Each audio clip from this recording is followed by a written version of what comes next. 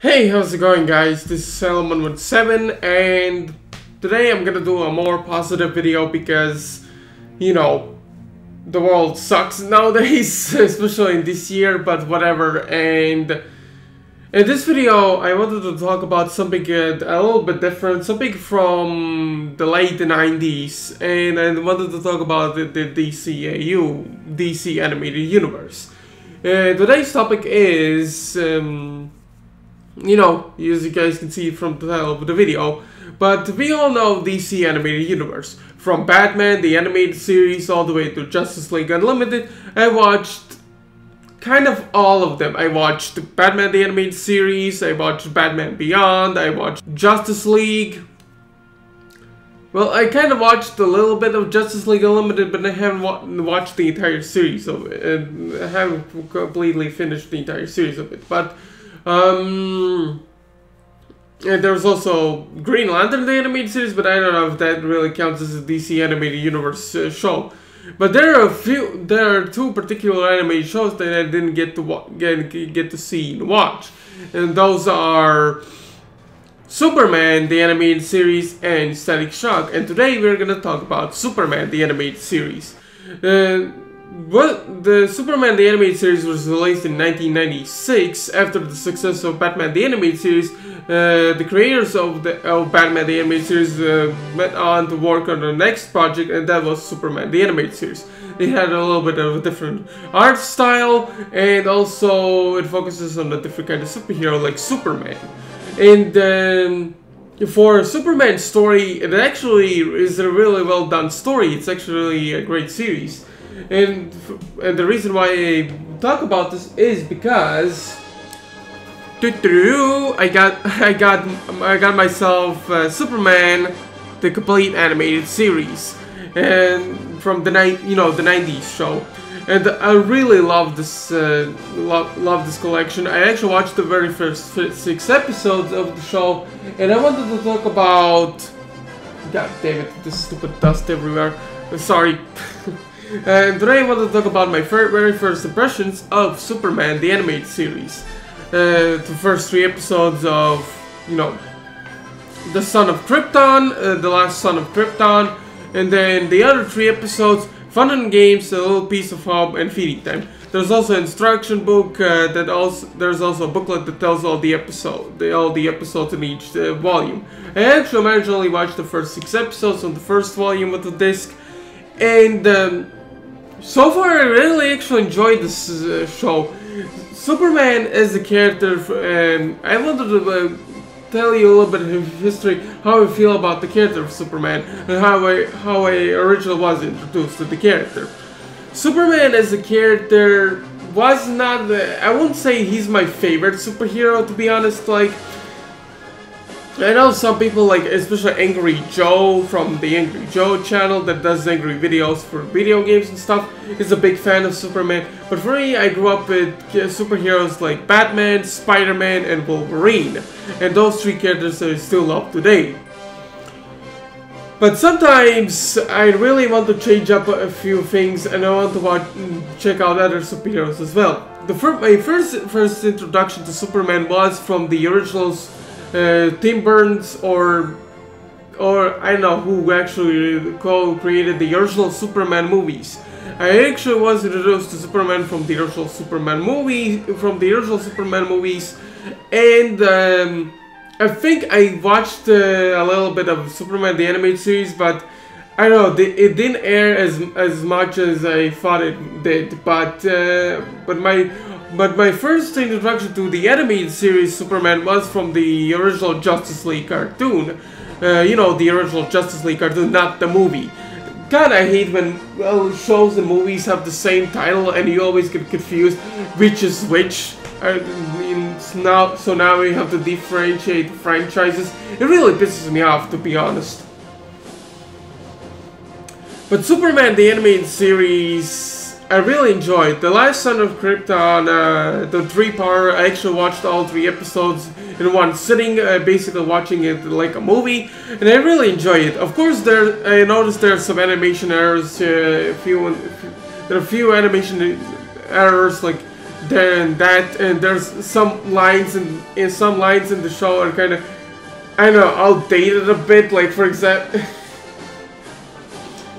Oh my god, I don't know what, what, what to say. Um, for example, when the Superman saves the people that are on the plane, the plane that was crashing into Metropolis, and when you, it's a small scene, but you can really, really notice it where, where, where the equipment of the plane are not very noticeable.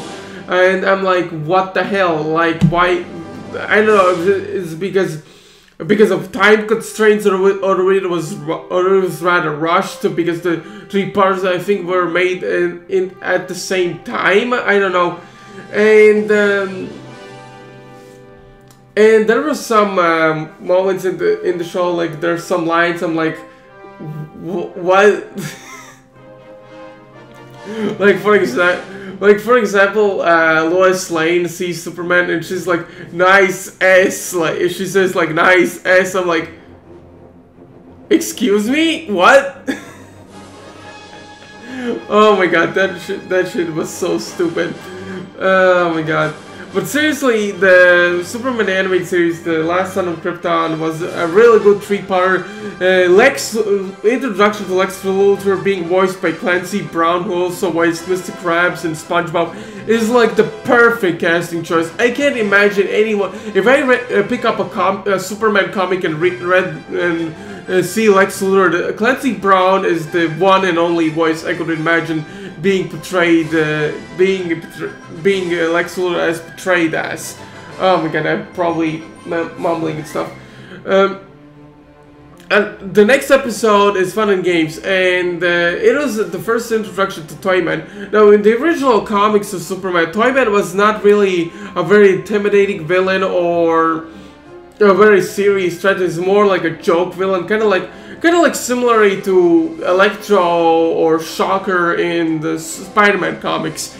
But then, uh, but then later on uh, in the animated series, they actually make the kind of like Joker-esque intimidation from uh, from Toyman. For example, you never know his. I don't know if there uh, if if he uh, if Toyman's real name is really mentioned, but um, there's also the toy maker. Uh, the, the, he had the son, and the son became Toyman. Like you don't, you never actually find out his real name. You actually, I only know him as the Toyman, and, and I, I have, like I said, I have watched the entire series of the of the of Superman the animated series, so I'm not entirely sure if uh, Toyman's uh, real identity was really, you know, shown in the, in the series. And I kind of like that because it kind of gives out the creepy aesthetic, like a, a mystery vibe to the character, kind of similar to the Joker.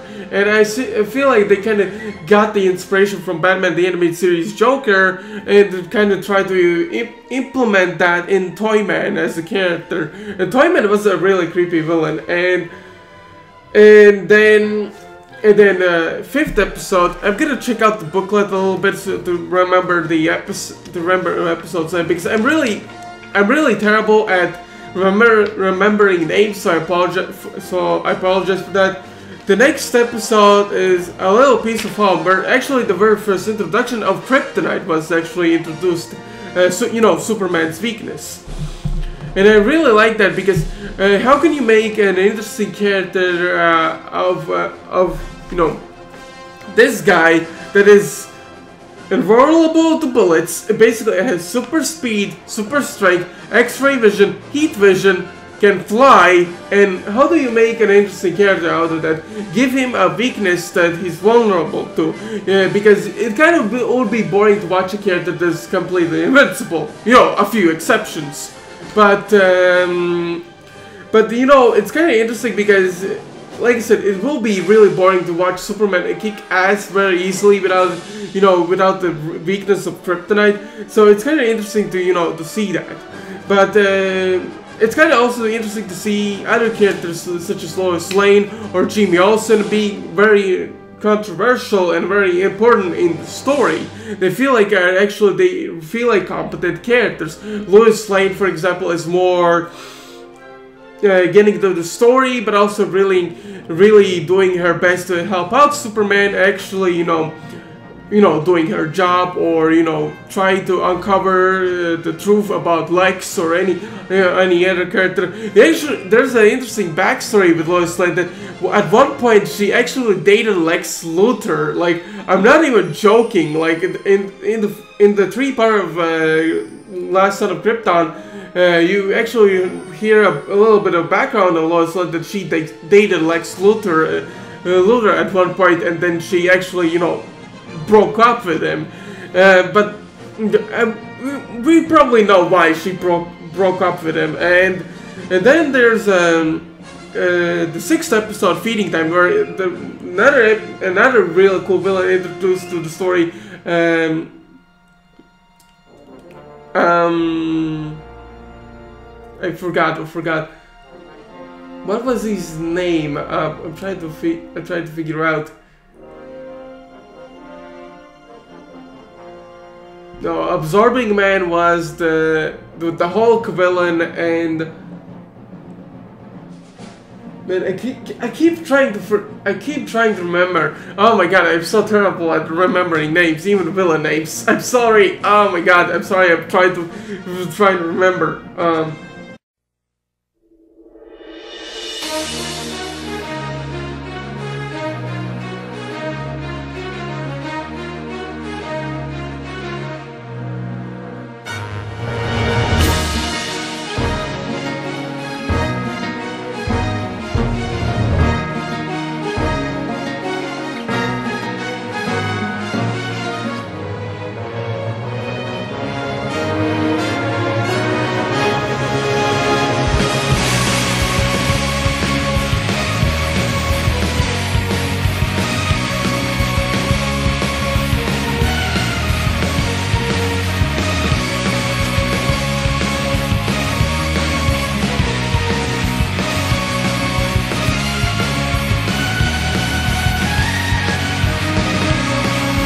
You gotta be kidding me. Parasite! Are you kidding me?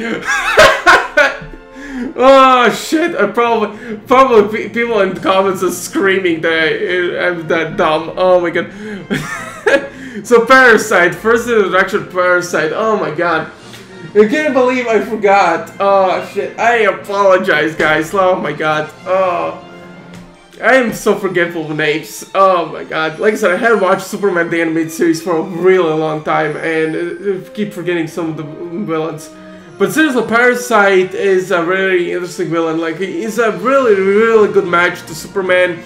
Especially if he gets, if he caught, caught, caught uh, you know, get Superman off guard, then he can absorb his uh, powers and energy, and even his memories. Like for one, for one instance, um, Parasite absorbed Superman's, you know, powers, and he was able to figure out his identity as Clark Kent. So it's kind of really, uh, it shows a very scary situation. What would happen if a villain figure out figures out your identity? that's why secret identity is so uh, so important, and that's why I don't like a lot of MCU movies because they kind of drop off the secret identity stuff out of out the window. Like for example, in Far From Home, in the ending, spoilers for Far Home, Far From Home for those who haven't watched watched the movie. Uh, Peter Parker's identity is uh, revealed to the entire world, and it kind of kills off suspense because. Uh, a lot of superheroes in the MCU movies don't wear masks at all. They always show their faces, to, you know, to show the actors because oh look how handsome the actors are and what whatnot. And it kind of kind of defeats the purpose. Like for example, Spider-Man is a character that keeps his identity uh, a secret for a very good reason, just like Batman does it in his story. Because if the, if either of the villains figure out who, who uh, the the character's identities, then they uh, then the people people they care about uh, will be will be put in danger. But still, uh, that's why it's uh, the, the episode Feeding Time showcases what would happen if a supervillain uh, suddenly discovers uh, a superhero's identity, and it could create really big problems uh, for the world. But still, I love this show. Um, Superman the animated series.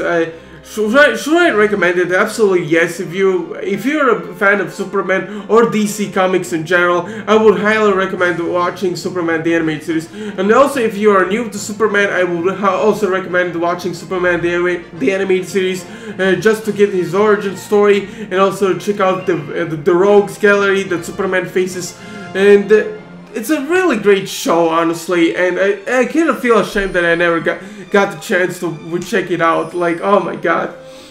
But I do apologize if I wasted a lot of time checking out on Google uh, what was the what was Parasite's name. Oh my god.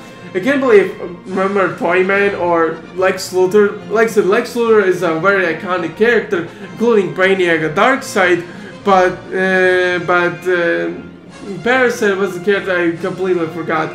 Uh, probably because they never showed him much in the series, especially after the Superman the animated series ended.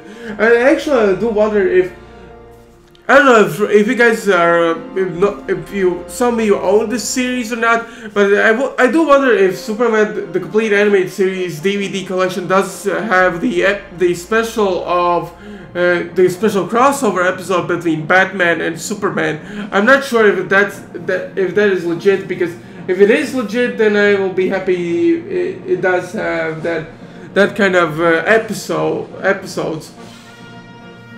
Because uh, Superman the series uh, was also the very first introduction to Batman's new design of you know the new Batman the Adventures which is kind of like the fourth volume or the fourth season of Batman the animated series. They kind of changed the art style of Batman's characters and some good, not so good, uh, for example, the Joker, but uh, like I said, it's still a very great, crossover, crossover between Batman and Superman. Way better than, you know, actual Batman and Batman, the, compared to Batman, Batman, Superman crossover in the live action films. You know, you know what I'm talking about, Batman v Superman. Oh god, that movie was a disaster. But still, um, but still, um, Superman the Animated Series, I will highly recommend watching it. My first, uh, my first impressions of that uh, of that show is fantastic, and I can't wait to see more uh, what Superman has to offer in this new animated series. Um, because so far Superman has always now been portrayed. Now Superman is being portrayed as as either the bad guy or as, or as the villain or the uh, or the way to invincible. And I don't kind of like that uh, as a for a Superman char- for a Superman character. I don't know. Um, also, when it comes to Superman, the animated series character, you know, the portrayal of DC animated universe Superman, um, in the Superman, the animated series, he is voiced by a different, Superman himself is voiced by a different actor compared to the Justice League one, so you might be thrown off a little bit from the voiceover, but I hope it doesn't uh, throw you off completely from the show, because uh, the voice actor for the animated series in the 90s still does a very good job portraying both Clark Kent and Superman as a character. But still, I really recommend uh, watching it, watching Superman the animated series because I enjoy it as well, uh, and I'm real happy to own, own such an amazing series in, in my animation collection. Uh, I'm currently trying to, uh, you know, collect all the DC animated universe uh, shows, uh, but currently own the two volumes of Batman the Animated Series, the complete series of Batman the Animated Series, and now I also own Superman the Animated Series. But as for Justice League or Justice League Unlimited, I do not own those, and I also am missing Batman or uh, some of the uh, movies of, for example, Batman the Batman Beyond Return, Return of the Joker, Batman and Mask of the Phantasm, and there's I also miss missing the volumes of Batman the Animated Series of volumes two, three and four of Batman the Animated Series, and also and also I'm missing uh, Static Shock. Static Shock never aired. Like a of a lot of, like I said, a lot of anime shows in my country that focuses on black people never aired in at the time when I, when I was born. I don't know why. Maybe it was some kind of racism thing or something like that. And of course, my uh, people in my country are not racist anymore. But for some reason, they never aired Static Shock or even Proud Family. So I don't know. But still, um, I highly recommend watching Superman the animated series because sometimes I want to wa watch other superheroes besides Batman or Spider-Man all the time, and it's kind of great to watch uh, a very good inter interpretation uh, of Superman. So yeah. See, uh, hope you guys enjoyed this, uh, my first impressions of Superman the Animated Series video, and uh, leave a like if you enjoyed it, and share this video with others if you want to, and follow me on Twitter if if you want to, and there's also, what else, um, and yeah, this is Asylum, and um, write in the comments what do you what do you guys think of Superman the animated series? Uh, do you like it? Do you don't like it? And I hope you guys. Uh, and this is Asylum one seven signing off.